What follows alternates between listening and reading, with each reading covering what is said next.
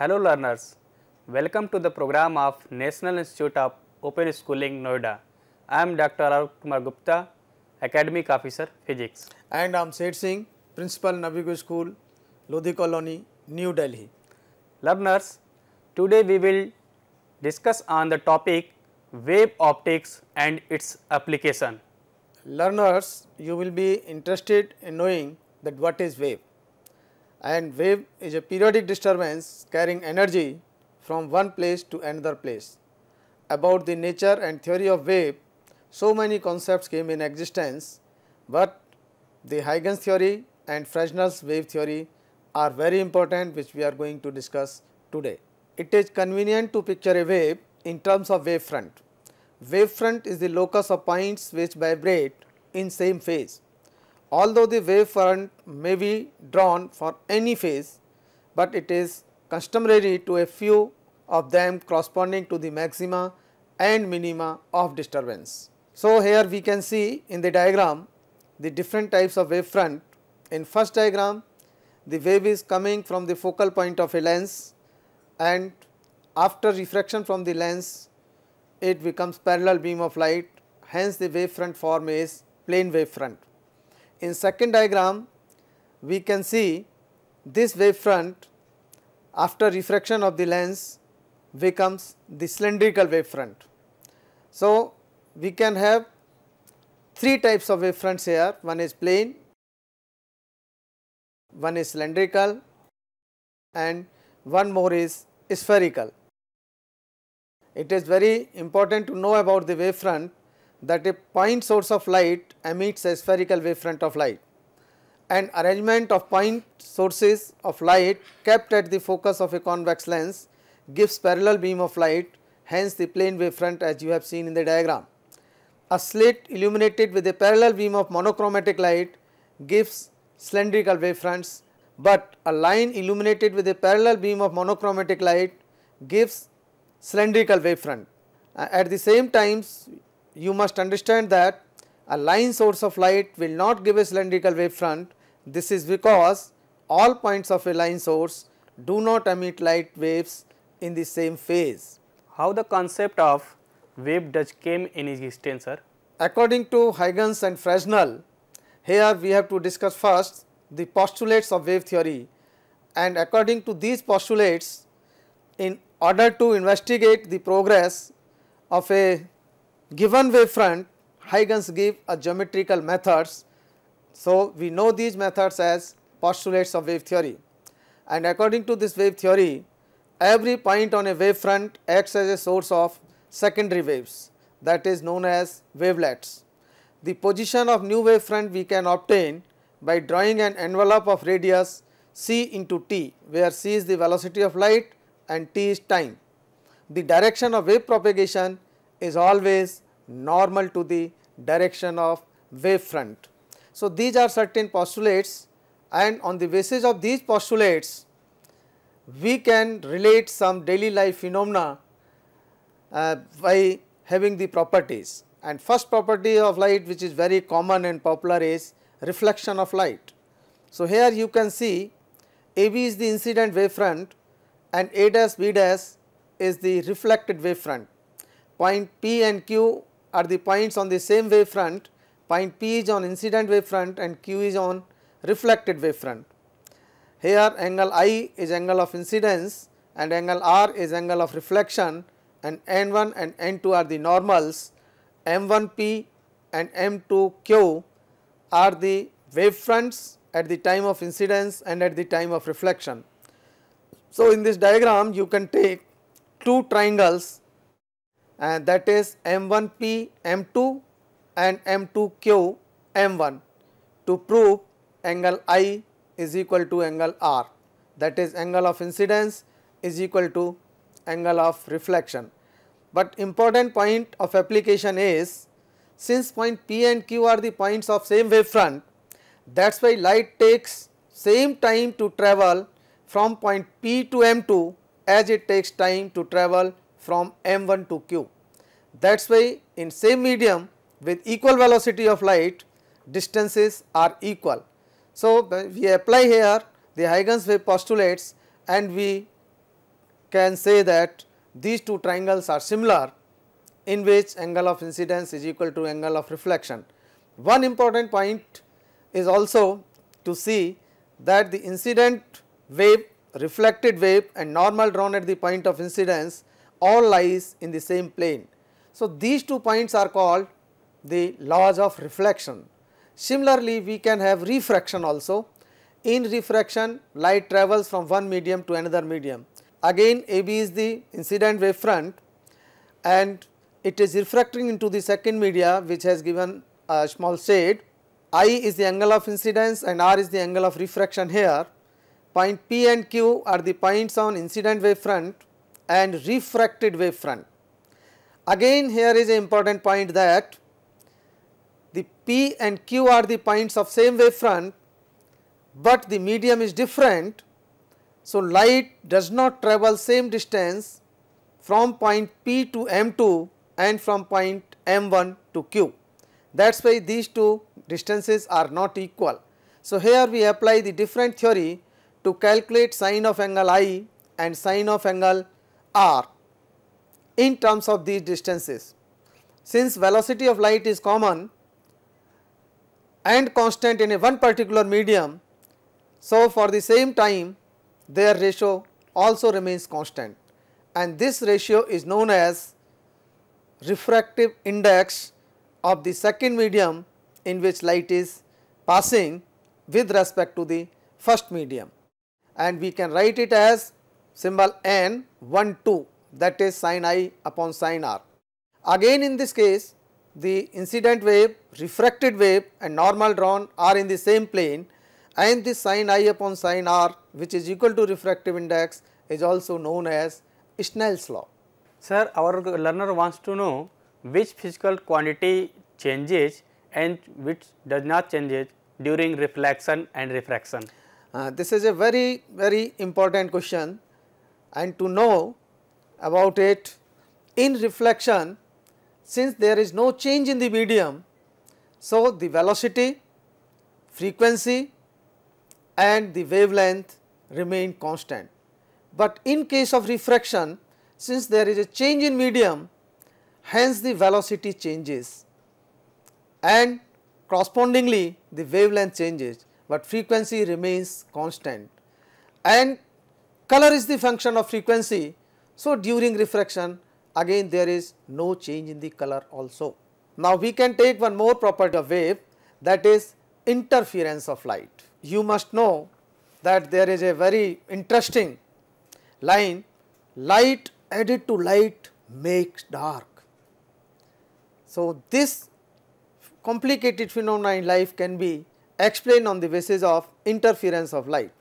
When two or more waves coming from coherent sources of light and they superimpose in a medium, the redistribution of energy takes place and this phenomena is called interference. That two waves of amplitude A1 and A2 having a phase difference of phi are superimposed. Then there is a resultant wave of amplitude that is A is equal to A1 square plus A2 square plus 2 A1 A2 cos phi and its under root.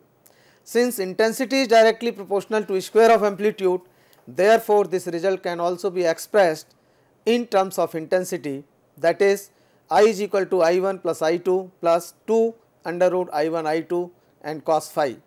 For phi is equal to 2 n pi the intensity will be maximum and for phi is equal to 2 n plus 1 pi intensity will be minimum where n can have any value 0, 1, 2, 3 and so on. So, we can find the ratio of maximum and minimum intensity in terms of intensity and in terms of amplitude. Here in interference different types of fringes are formed and the visibility of the fringe can also be given as V is equal to I maxima minus I minima divided by I maxima plus I minima. Sir, can all source of light produce interference? No, that interference will not be the sustained interference. So, to have sustained interference we should understand the sources required must be coherent and the ordinary source of light do not produce interference because every natural source of light emits light pulses for a very short interval of time and this interval of time may be 10 raised to the power minus 8 second and so. So, there is no control over the intensity or over the instant at which an individual atom emits a light pulses and no stable phase relationship exists between the light pulses emitted in independently by two sources of light. That is why we need the constant phase change with time and the value of phi changes with time then there is an equal probability of positive and negative value of cos phi. In fact, the time average value of cos phi becomes 0 and then the resultant intensity at the screen is given as I is equal to I 1 plus I 2. If sources are coherent, the maxima and minima distribution of energy takes place that is interference. If sources are not coherent, then intensity will be the algebraic sum just I 1 plus I 2 and it is not the interference.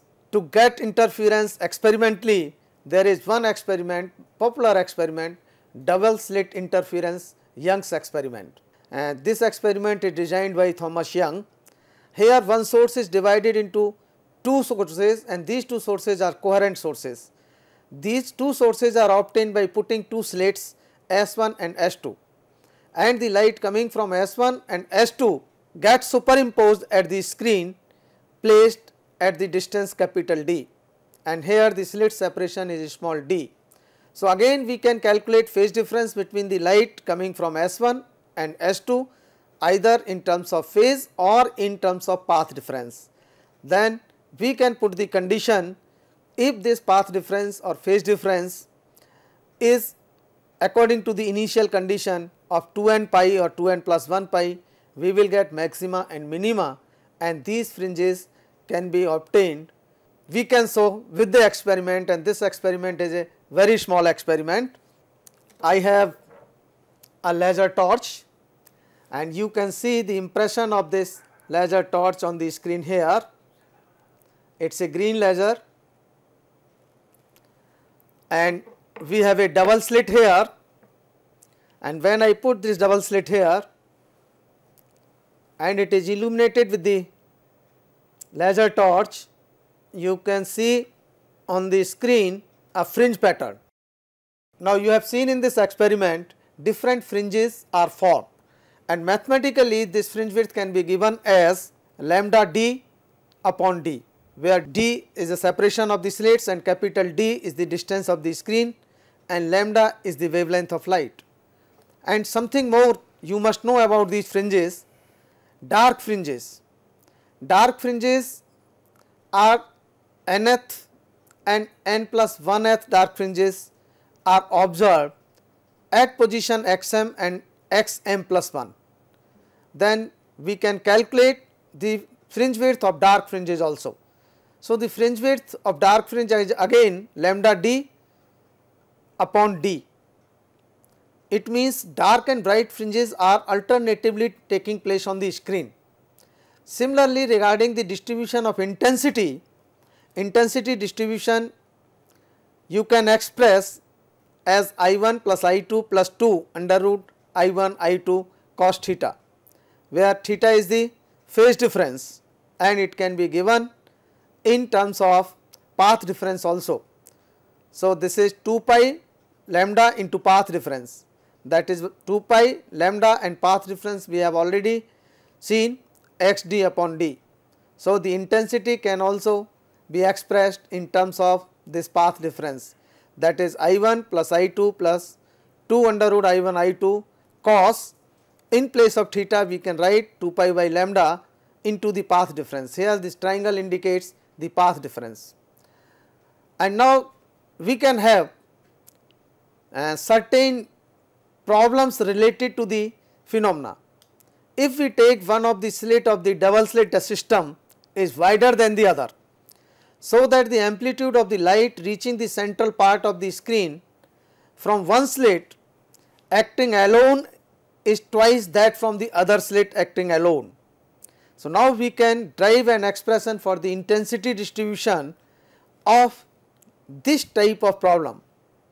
So, let us look at the solution using the standard result of intensity which you have just seen, let us take two sources of amplitude A1 and A2 and phase difference of theta, then we can write the value of A1 and A2 and then we can calculate that intensity is given as I upon 9 multiplied by 1 plus 8 cos square pi by lambda x d upon d. It is a very simple mathematics which we are explained here. Sir, is there any similar phenomena? Yes, one more important phenomena that is very interesting is the diffraction of light. And what happens in diffraction of light? When light passing through a narrow slit or a small aperture or close to the edge of an opaque object, it is found that it bends around the corners. And the effect associated with this bending of light is known as diffraction. The simplest case of diffraction occurs when a narrow slit is illuminated normally by a plane monochromatic light waves as shown in the diagram. Here you can see in the diagram that the light is coming and it is passing through a narrow slit and redistribution of energy again you can see on the screen. And how this specifically the intensity is changing it is a very very beautiful and complicated phenomena. Intensity falls down extremely small.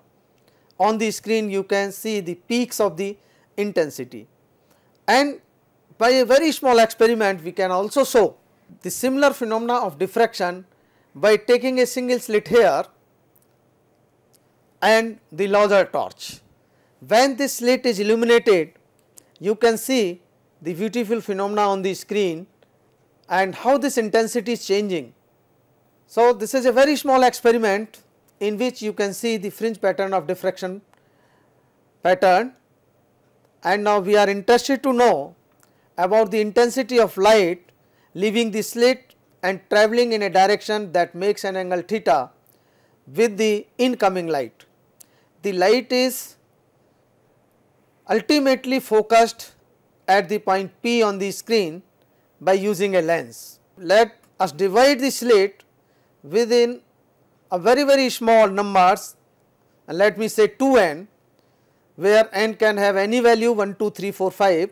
These wavelets coming from the different parts of opening interference in such a way that maximum and minimum are produced in different directions. If the obstruction is made at P naught in the direction theta is equal to 0, we find that the wavelets from all parts of the slit reach there in phase so that a maxima is obtained there. If theta is gradually increased, the wavelets reaching at P will get out of phase in order to find the position of first minima and we observe that a path difference Bn between the wavelets coming from A and B is lambda. The path difference OM between the wavelets coming from A and from the center O is lambda by 2. Thus, the first part uh, of the slit would interfere and no light would be obtained on the direction theta such that Bn is equal to lambda. If we take slit width A then Vn will be A sin theta and the condition for first minima is A sin theta is lambda where A is the slit width and position of other minima are given as A sin theta n is equal to n lambda where nth is the order of minima. Sir, is there any effect on the fringe pattern if slit width decreases or wavelength changes? Yes, definitely because in the expression we have seen that the fringe width related to the slit width. So, if slit width changes the fringe width also changes and lambda is also coming in the formula. So, slit width and lambda both are related to the width. With the change in lambda fringe width will also change and there is very very one important point which is to be kept in mind if slit width is very large no phenomena of interference and diffraction takes place. If slit width is very very small, again no phenomena of interference and diffraction takes place because for larger slit width it will be a very small fringe width which is not noticeable. For a very small slit width the fringe width will be so large it will not show you the fringe pattern. And here similarly we can see the number of diffraction pattern in different wavelengths. Let me take the wavelength of red color light and blue color light. So, the fringe width of red color light and blue color light will be different and their maxima will be different. And one more important point about the diffraction pattern is order of the wavelength of light must be in the order of the slit width then a beautiful pattern of diffraction takes place. And this phenomena of diffraction is applicable while we are deciding the resolving power of microscope and telescope and similar phenomena you can see with the help of different multiple slits. So, here we can show you the multiple slit and again with the help of laser light and the phenomena which is which you can see on the screen. So, how this diffraction and interference are related and they are applicable in all these optical instruments. It has many many application and diffraction gratings and making the lens of high resolving power of considerably adequate resolving power, telescope making and other optical instruments. So, now you have learned about the wave optics and its few of the applications. Sir, in between talk you have talked about monochromatic light. So, what is monochromatic light? And it is very simple to know that uh, mono means a single and chromatic means the color. So, single color or you can say the single wavelength light is monochromatic light and the light of different color and several color you have already have seen in the films that it is Eastman color film like that. So, monochromatic means single color or single wavelength light. At our home uh, we are uses uh, tube lights.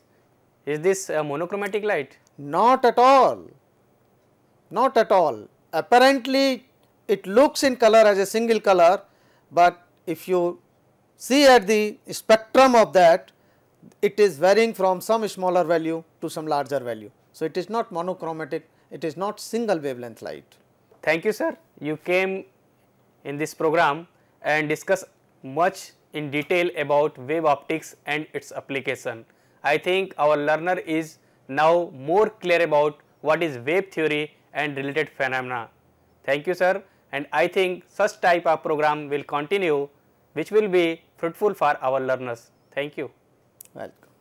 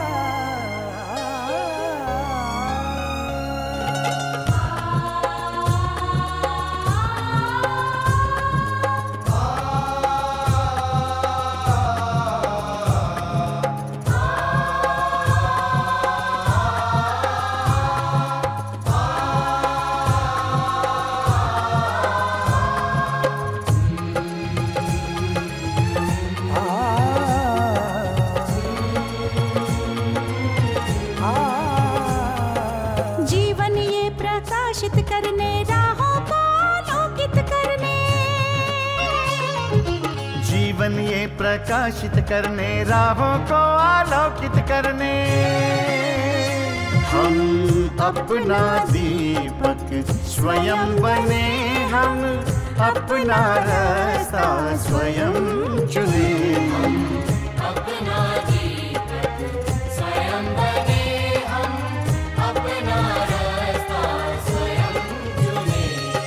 जीवन ये प्रकाशित करने, राहों को आलोकित करने।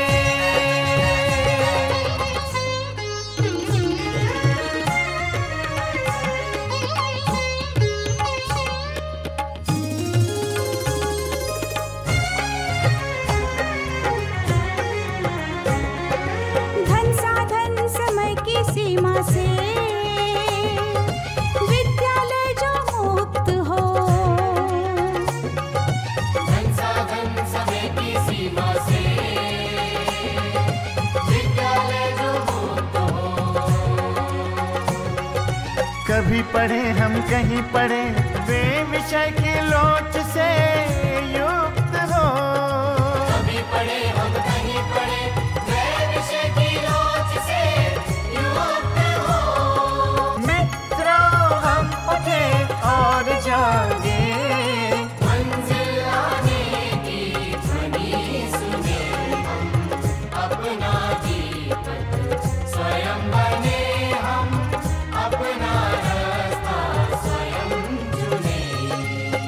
जीवन ये प्रकाशित करने राहों को आलोकित करने।